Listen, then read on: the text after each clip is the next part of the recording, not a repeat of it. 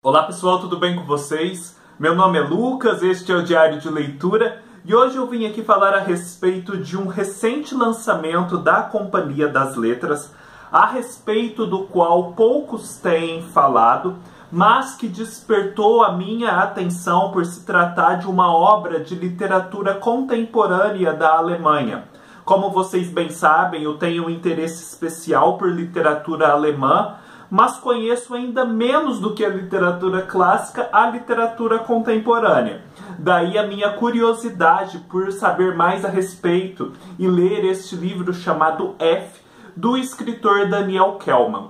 O Daniel Kellman é então um escritor alemão contemporâneo muito premiado, traduzido para vários países, enfim, um expoente da cena literária alemã contemporânea. E neste livro, é, já pela sinopse, a gente fica bastante interessado em conhecer a narrativa, porque se trata de uma história um pouco inusitada e instigante ao mesmo tempo.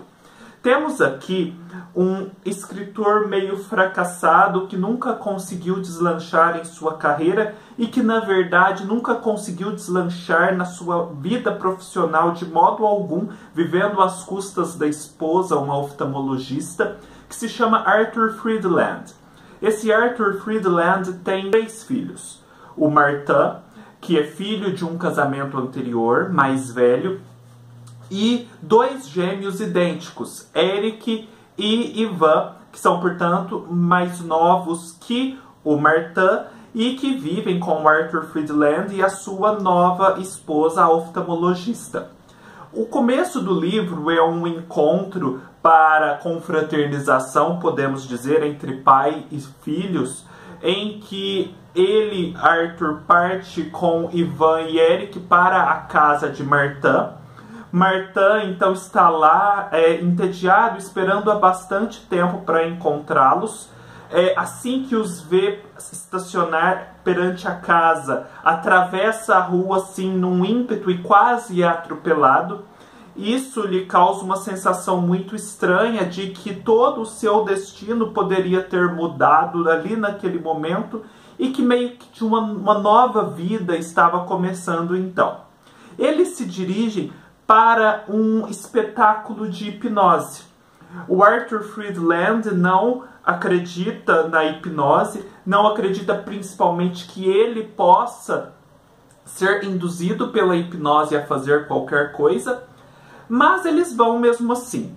É, chegando lá, há um espetáculo, há várias apresentações que parecem comprovar que a hipnose realmente funciona. Em um dado momento, várias crianças são chamadas ao palco, entre elas Ivan.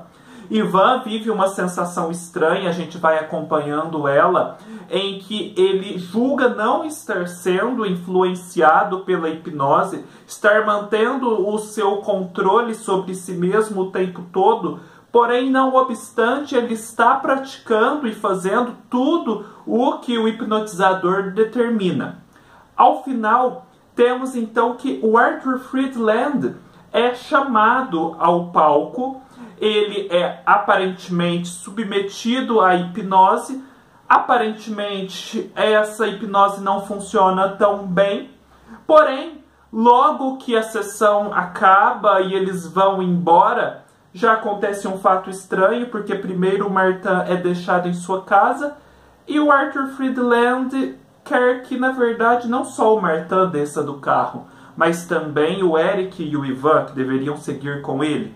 Tá, eles descem, acham estranho, mas depois descobrem que, na verdade, o Arthur Friedland fugiu, mandou depois um, um telegrama para a esposa dizendo que estava bem, mas que não voltaria tão cedo.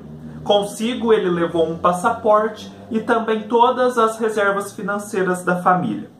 Depois desse momento, a narrativa passa a ser em primeira pessoa e temos contato então na voz de cada um desses três irmãos com o que aconteceu com eles na vida adulta. E ficamos sabendo desde logo que até a vida adulta eles não reviram o seu pai Arthur Friedland. Temos então primeiro contato com a vida do Martin, aquele filho mais velho, que acaba se tornando um padre com problemas de obesidade e também com vários problemas de fé, porque ele é um padre, ele até tinha uma certa vocação na medida que tudo que se relacionava à religião, à teologia, à igreja, realmente lhe despertavam a atenção, atraíam o seu interesse. Porém, o mais importante, que era ter fé em Deus, ele não tinha. Então acompanhamos essa vida de padre dele que é um pouco vazia de sentido porque lhe falta o essencial. Depois temos a vida de Eric. O Eric desde pequeno era muito determinado e meio que queria conquistar o mundo ainda que a força. Então ele se torna um grande magnata das finanças. Mas também essa, esse sucesso é apenas aparente, porque o castelo dele é de cartas e pode desabar a qualquer momento. Então ele vive uma vida frenética com uma certa sensação de estar sendo perseguido, com uma certa sensação de estar sendo atormentado por demônios, é, bebendo remédios controlados descontroladamente e assim, mentindo para todo mundo e tudo isso num ritmo frenético. Depois, temos contato com a vida de Ivan, que desde sempre se interessara pela pintura, mas que em um determinado momento da vida, estudando em Oxford, percebe que ele não tinha o talento suficiente para superar a mediocridade e assim se tornar um pintor famoso e relevante. É, porém, é, ele não abandona a arte por completo, acaba se aproximando de um pintor que até então não era famoso e estabelece com esse pintor uma relação muito diferente, que não vale a pena eu falar agora para não estragar a surpresa. E a partir dessa relação, ele se torna um negociante das obras desse pintor, mas não só, e com isso ganha muito dinheiro. Mas também aqui há um elemento de falsificação que torna todo o aparente sucesso e toda a aparente glória é, uma coisa vazia de sentido.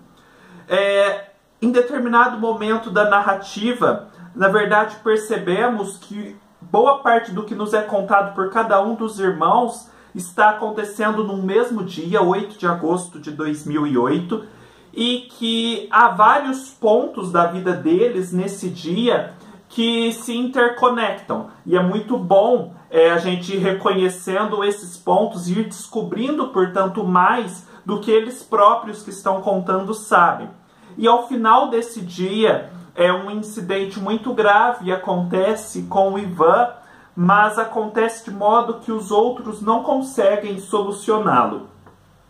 É, este é um livro que para mim lembra muito o Ruído Branco, aquela coisa meio nonsense, é, questionadora do, da existência de sentido, com uma certa conotação metafísica, é uma exploração é, do sentido da vida, do absurdo, do acaso, da fatalidade, enfim, dessas grandes questões.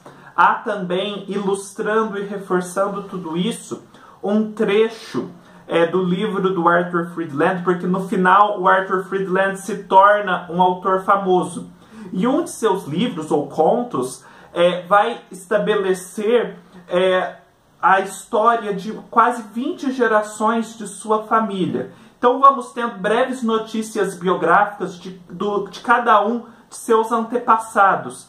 E isso, assim, vai nos mostrando que há certos elementos que se repetem naquela família, há, porém, é, a ação do acaso, a fatalidade, há também as escolhas individuais, mas o que é, ressalta disso tudo é o tanto que é vertiginoso e acompanhando a vida em tantas gerações sucessivas, as particularidades de cada geração. Vai dando uma sensação de náusea quando a gente vai chegando nessas últimas gerações.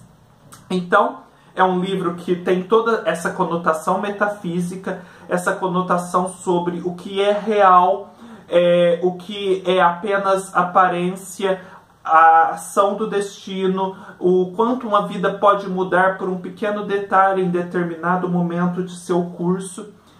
E assim, o que segura essa narrativa e a torna tão interessante e que não faz com que ela seja apenas mais um livro labiríntico que se lança por aí, é a força de escritor que o Daniel Kellman tem. Ele prende a nossa atenção o tempo todo. O texto é ágil, o texto é claustrofóbico às vezes, o texto é muito sarcástico, irônico, cheio de humor, você ri muito nessa narrativa. E ao todo tempo você está entendendo o que está acontecendo na superfície. Você não fica tão perdido assim apesar de saber que há um significado profundo, que há paralelos entre histórias, que há interseções, há símbolos, há alegorias, isso torna o livro interessante. Ele é misterioso, vale muito uma releitura e eu quero sim reler esse livro para entender mais da mensagem que o Daniel Kellman quis passar.